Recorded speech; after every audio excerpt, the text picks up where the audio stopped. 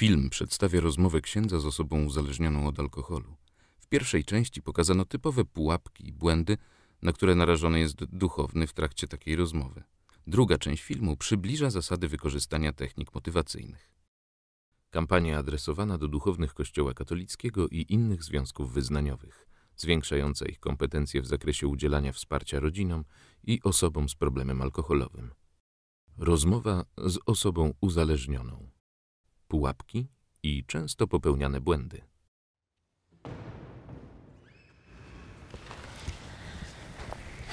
Zapraszam. Dzień dobry. W czym mogę pomóc?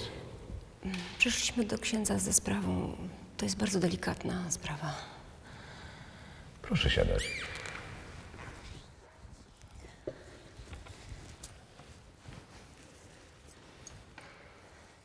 Słucham. Mąż ma kłopoty w pracy. Co to za kłopoty?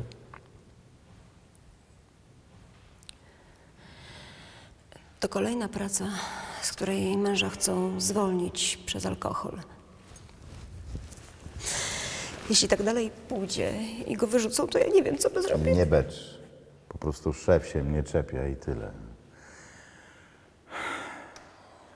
Mam złożyć u księga. Mam złożyć u księdza jakąś przysięgę, Jaką przysięgę? że nie będę pił. To dobry pomysł, żeby pan się trochę ogarnął. Trochę wstyd tak doprowadzać żonę do łez. A macie państwo dzieci? Tak, trójkę. No to ma pan dla kogo przestać pić i nie dawać dzieciom złego przykładu. Fakt, ostatnio trochę przesadziłem. Trochę. To ile pan pije? Tyle co każdy, no. Piwkuję sobie czasami. Proszę księdza, chodzi o to, że szef przyłapał mnie na piciu, a innych nie i to cała sprawa. Teraz to przecież pijesz codziennie, prawda? A w zeszłym roku straciłeś prawo jazdy. A ostatnio to dzieci cię musiały prowadzić do domu, bo nie byłeś w stanie iść na Daj własnych spokój, nogach. proszę księdza. Co to za facet, co nie pije? Przecież alkohol jest dla ludzi. Jezus pił wino? Pił. Alkohol jest dla ludzi, którzy potrafią pić. Co się z panem dzieje? Kto rodzinę utrzyma, jeśli pan straci pracę? Jest pan mężem i ojcem. Niech się pan weźmie w garść. Przecież to wstyd tak pić bez opamiętania. Pan Bóg widzi wszystko. A pan się nawet Boga nie boi. Jak przemówić panu do rozumu? Ksiądz strofuje mężczyznę w przekonaniu, że wyrzuty sumienia zmuszą go do ograniczenia picia. Wynika to z przekonania, że uzależniony może przestać pić w każdej chwili, że jest to kwestia jego rozumu i woli, a więc wystarczy go do tego przekonać. Takie podejście nie uwzględnia jednak siły nałogu i przymusu picia w uzależnieniu. Krytyka, ocenianie i rozkazywanie mogą spowodować, że uzależniony zamknie się w sobie i dalsza rozmowa będzie nieskuteczna. Proszę księdza, ja rozumiem i... Tylko czasami coś mnie tak nachodzi, nie, nie daje rady, no i przesadzam. Szefa już przeprosiłem. Zły duch kusi nas, ale modlitwa czyni cuda. Mamy Boga, który nam pomaga, więc walkę duchową mamy wygraną. Odwagi. To jest możliwe. Widzę, że już pan coś zrobił. To ja się będę modlił. I złożę tę przysięgę. Bóg pomaga i przysięga działa, ale tylko wtedy, gdy się w to szczerze wierzy. Wierzę, tak. Wierzę. Uzależniony odchodzi od zasadniczego tematu, czyli swojego picia, i przenosi rozmowę na płaszczyznę religijną. To pułapka, na którą osoby duchowne są szczególnie narażone. Łatwo jest powiedzieć, że to zły duch, trudniej przyznać się do swojego udziału. To dlatego osoba z problemem alkoholowym niekiedy woli zgłosić się do księdza i porozmawiać o walce wewnętrznej, niż pójść do placówki terapii uzależnień i podjąć leczenie. Wiara i modlitwa są ważne w procesie zdrowienia osób uzależnionych, ale sama argumentacja religijna nie wystarczy, aby zwyciężyć nauk. Dopiero połączone z leczeniem dają szansę na spodziewany efekt. Mam nadzieję, że pan wytrwa. Dla żony i dzieci. Będę się za pana modlił. Dziękuję. Wytrwam. Wytrwam. Zależy mi na tym, żeby nie stracić pracy. Proszę księdza, czy mógłby ksiądz y, dać takie zaświadczenie, że ja tę przysięgę złożyłem, szefowi pokażę? No pewnie, że dam.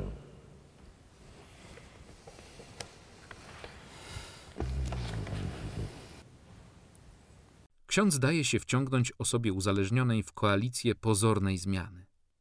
Tymczasem wartość przysięgi złożonej w nałogu jest znikoma.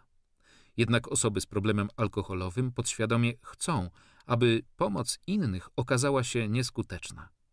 Chcą pozostać w komforcie picia, czyli wygodnym przeświadczeniu, że muszą pić, że już im nic nie pomoże, nawet Bóg. Rozmowa z osobą uzależnioną. Przykład pozytywnej motywacji.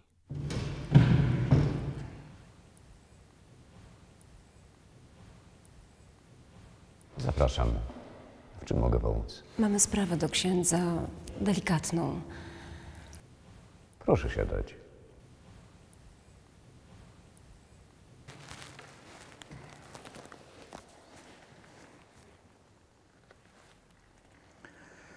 Słucham. Chodzi o to, że mąż ma kłopoty w pracy. Co to za kłopoty?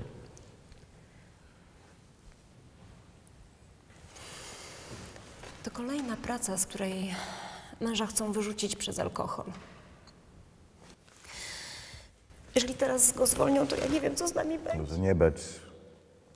Po prostu szef się na mnie uwziął. Mam złożyć u księdza przysięgę. Jaką przysięgę? że nie będę pił. Mówi pan, że szef ma do pana zastrzeżenia i że to ma związek z alkoholem. Duchowny nie pouczał ani nie wypytywał. Zamiast tego odzwierciedlił usłyszane treści dotyczące problemu. No tak, no rzeczywiście ostatnio trochę przesadziłem. I to nie podoba się szefowi i niepokoi pana żony. Oni przesadzają, no, przecież pije jak każdy. Chodzi o to, że szef przyłapał mnie na piciu, a innych nie i to cała sprawa. Mówi pan, że szef nie toleruje alkoholu w pracy i może pan ją stracić. Brzmi poważnie. Co chciałby pan w tej sprawie zrobić? Powyższej sytuacji duchowny może wpaść w pułapkę tłumaczenia rozmówcy, że bagatelizuje sprawę, co może skutkować zwiększonym oporem albo składaniem obietnic bez pokrycia. Ksiądz jednak nie stawiał zarzutów, ale jeszcze raz streścił podstawowy problem i zadał pytania otwarte, które poszerza perspektywę rozmówcy i pomaga mu posunąć się w kierunku rozwiązania problemu. W tym wypadku pytanie dotyczyło zamiarów rozmówcy, co akcentuje jego decyzyjność i zdolność do zmiany. No, żona mówi, że mam złożyć przysięgę. Ale co pan o tym myśli? Czego pan chce? Mogę złożyć. Nie chcę mieć kłopotów. Chciałby pan mieć pracę i żeby rodzina była szczęśliwa. No tak, rodzina jest dla mnie najważniejsza. Podtrzymujmy to, co pan dotychczas powiedział. Ostatnio miał pan problemy w pracy z powodu picia. W poprzednich pracach było podobnie. Zależy panu na rodzinie i na tym, żeby utrzymać pracę. Chciałby pan coś zrobić ze swoim piciem. Czy dobrze pana zrozumiałem? Ksiądz odzwierciedlił wartości, które wynikają z wypowiedzi rozmówcy i zamiast pouczać, podsumował rozmowę, koncentrując się na wypowiedziach służących budowaniu motywacji do zmiany. No tak. Czy już mam przysiąc? Jeżeli pan pozwoli, to chciałbym jeszcze o tym porozmawiać. Dobrze? Dobrze. Ksiądz nie podjął kwestii przysięgi. Zamiast tego zapytał o zgodę na dalszą rozmowę na temat problemu. Uzyskanie zgody powoduje, że rozmówca bardziej angażuje się w dialog i zmniejsza się jego opór przed zmianą. Dalej duchowny nie będzie pouczał, lecz będzie starał się wydobyć z rozmówcy argumenty przemawiające za podjęciem leczenia. Czy próbował pan kiedyś ograniczyć picie? Czy postanawiał pan nie pić? Tak, no jak żona zagroziła rozwodem i jak straciłem poprzednią pracę. Wygląda na to, że naprawdę zależy panu na tym, żeby rodzina się nie rozpadła. Co się wtedy stało? Nie piłem. Przez dwa miesiące nie, nie wziąłem alkoholu do ust. No, to było wesele siostrzenicy, jakoś nie, nie wypadało nie wypić. Nie? Czyli wynika z tego, że bardzo trudno jest panu wytrwać w abstynencji, nawet jeśli pan tego bardzo chce. Tak, ale teraz będzie już inaczej. Chciałby pan, żeby było inaczej. Zależy panu na rodzinie, na tym, żeby utrzymać pracę i żeby teraz było dobrze. Czy mogę panu powiedzieć, co innym ludziom będącym w podobnej sytuacji pomaga najbardziej w wytrwaniu w postanowieniu, żeby nie pić? Ksiądz nie spierał się z deklaracją rozmówcy, lecz odzwierciedlił jego wartości i chęć zmiany. Zapytał o zgodę na udzielenie informacji, co może mieć zasadniczy wpływ na to, czy jego rozmówca będzie potem stosował się do zaleceń, najpierw księdza, następnie specjalisty od uzależnień. No, niech ksiądz powie. Każdy człowiek może uzależnić się od alkoholu, jeśli często pije. Kiedy już się uzależni, bardzo trudno mu jest zerwać z piciem, bo organizm domaga się alkoholu. Na tym polega choroba alkoholowa. Jak każdą chorobę, trzeba to leczyć. W naszym mieście znajduje się poradnia leczenia uzależnień. Znam wiele osób, które dzięki uzyskanej tam pomocy przestały pić. Dodatkowo w każdy wtorek przy naszym kościele odbywają się mitingi AA. Niektóre osoby poza leczeniem w poradni przychodzą też na te spotkania. Ale ksiądz mamy za alkoholika, no chyba nie jest aż tak źle. Nie wiem, czy pan jest uzależniony. To może stwierdzić specjalista z poradni. On też powie, jaki rodzaj pomocy byłby dla pana najlepszy. Dlatego uważam, że przysięga nie jest tu rozwiązaniem, bo pan nie ma problemu z wiarą, ale z alkoholem.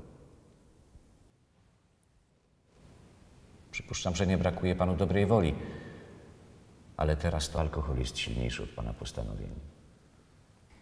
W tej sytuacji warto najpierw skorzystać z porady specjalistów od problemów alkoholowych, a dopiero w przyszłości pomyśleć o złożeniu przysięgi abstynenckiej.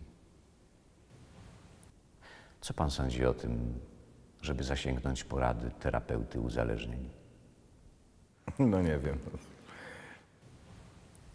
Ma pan wątpliwości?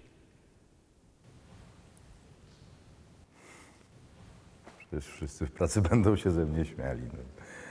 Co jest ze mną aż tak źle, że już potrzebuję iść na odwyk? Ma pan dylemat. Z jednej strony zastanawia się pan, czy to jest konieczne, jak zareagują koledzy, kiedy dowiedzą się o leczeniu. Z drugiej, chciałby pan, żeby pana życie było spokojne, mieć pracę i kochającą się rodzinę. To jest trudny moment rozmowy. Jeśli ksiądz zacznie pouczać lub zlekceważy obawy rozmówcy, to może nasilić w nim opór. W związku z tym duchowny zastosował odzwierciedlenie dwustronne, czyli przedstawił najpierw obawy powstrzymujące osobę uzależnioną przed podjęciem leczenia, a potem pragnienia i wartości, które mogą skłonić do zmiany. ważna jest kolejność. Na koniec zostawiamy to, co służy budowaniu motywacji. No w sumie kole... koledzy nie muszą wiedzieć, nie? To jest pana decyzja, komu pan powie o leczeniu. Powiedzmy, że minęły trzy miesiące. Nie skorzystał pan z pomocy specjalisty i pije pan dalej. Co najgorszego mogłoby się wydarzyć? Ksiądz zadał pytanie otwarte, wybiegające w przyszłość, chcąc skłonić rozmówcę do refleksji nad korzyściami ze zmiany i konsekwencjami jej braku. Zobaczenie zmiany w kontekście konkretnych korzyści może bardzo pomóc w budowaniu motywacji. Jest dużo większa szansa na wprowadzenie zmiany, gdy zarówno minusy braku zmiany, jak i plusy jej wprowadzenia wypowie osoba, której ta zmiana dotyczy. Mógłbym stracić pracę.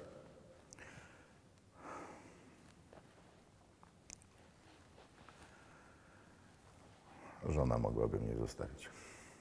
Może pan stracić rodzinę i pracę.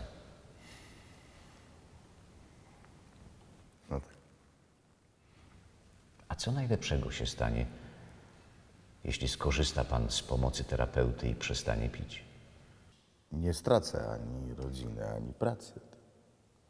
Myśli pan, że szansa na dobre życie będzie większa, jeśli skorzysta pan z pomocy specjalisty? Może pan zadzwonić do niego ode mnie. Proszę, tu jest numer. Lub z domu. Jak pan woli.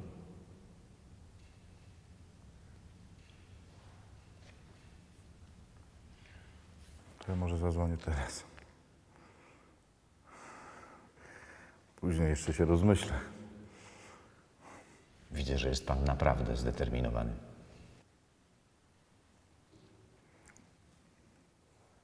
Dziękuję.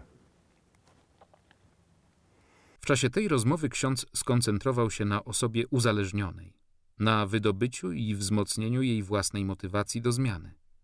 Zastosował pytania otwarte, a przede wszystkim różnego rodzaju odzwierciedlenia wzmacniające usłyszane treści i służące motywacji. Za cel rozmowy uznał skorzystanie z pomocy terapeuty uzależnień, słusznie zakładając, że dotrzymanie przysięgi bez leczenia uzależnienia może okazać się niemożliwe. Patronat jego eminencji księdza biskupa Tadeusza Bronakowskiego, przewodniczącego zespołu Konferencji Episkopatu Polski do spraw apostolstwa trzeźwości. Patroni medialni